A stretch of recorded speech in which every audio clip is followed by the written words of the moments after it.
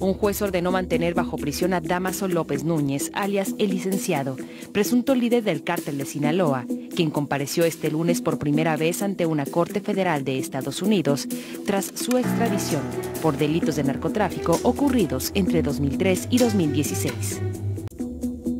En una audiencia que apenas duró cinco minutos, el juez de la Corte del Distrito Este de Virginia, Michelle Mashmanoff, decretó que el licenciado siga bajo custodia en una prisión federal hasta la siguiente audiencia para la cual no existe aún fecha.